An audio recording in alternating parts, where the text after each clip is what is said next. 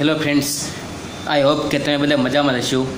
તો ગુજરાતનો વિષય, કે ગુજરાતમાં ખેડા જિલ્લા વિશેની માહિતી આજે મેળવવાની છે. તો લાઇક શેર અને સબસ્ક્રાઈબ કરવાનું ભૂલશો નહીં. જેથી કરીને તમામ મિત્રોને આવા બીજા વીડિયો કે સ્ટુડન્ટ કે જેથી માહિતીને અજાણ ન છે, તેમને ઉપયોગી બને. તો જોઈએ ખેડા જિલ્લા વિશેની, કે ખેડા જિલ્લામાં ગુજરાતના તળાવોનું દ્વારા સિંચાઈ કયા જિલ્લામાં વધુ થાય છે? વધુ થાય છે? ખેડા જિલ્લામાં સર્વોત્તર કયા પાક માટે પ્રખ્યાત છે? તમાકુ મોતીભાઈ અમીનનો જૂનો જન્મ ક્યાં થયો હતો ગાંધીજી? કે તેમની શું કહેતા હતા? કે વસો ખેડા સર્વોત્તરનું મોતી. ગાંધીજી તેને સર્વોત્તરનું મોતી કહેતા. અને જન્મ વસોમાં જગ્યાએ ખેડામાં થયો હતો. ગુજરાતમાં ડાંગરનું સૌથી વધુ ઉત્પાદન ખેડા જિલ્લામાં થાય છે. ડાકોર ખેડા જિલ્લામાં છે જે કઈ નદી પર કિનારે છે? ગોમતી નદી. બેસર જમીન કયા વિસ્તારમાં આવેલી છે? ખેડા, આણંદ. મોતીભાઈ અને ભાઈ અને અમી, મોતીભાઈ અમીન કઈ પ્રવૃત્તિ સાથે સંકળાયેલા હતા?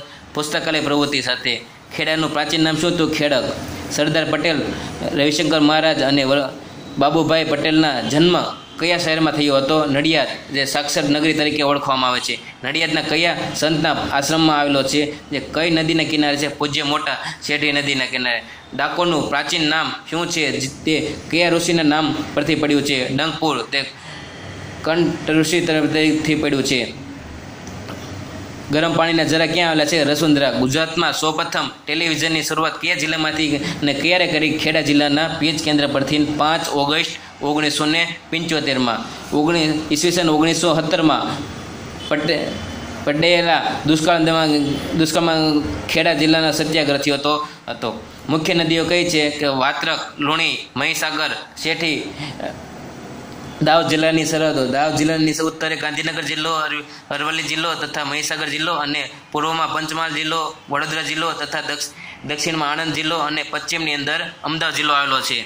મુખ્ય મથક નડિયાદ મુખ્ય મથક નડિયાદ, તેના તાલુકા નડિયાદ, ગલતેશ્વર, મહેમદાબાદ, કપર, કપવાડા, ખેડા, માતર, દાસરા, વસો, કંઠ, કંઠલાલ અને મહુવા દોસ્તો, આ મેં વીડિયો ગમ્યો હોય તો લાઈક કરવાનું ભૂલતા નહીં અને ન ગમ્યો હોય તો કોમેન્ટ કરજો, જેથી કરીને પછીના વિડીયોની અપડેટ આપી શકો અને વધુમાં વધુ લાઈક શેર અને સબસ્ક્રાઈબ કરો, જેથી કરીને માહિતી વધારે મળે અને આગળના વિડીયોની માહિતી માટે જમણી બાજુ નોટિફિકેશન બેલ હશે, જેના પર ક્લિક કરો અને અમારા આવનારા વિડીયોની નોટિફિકેશન તમને મળતી જશે.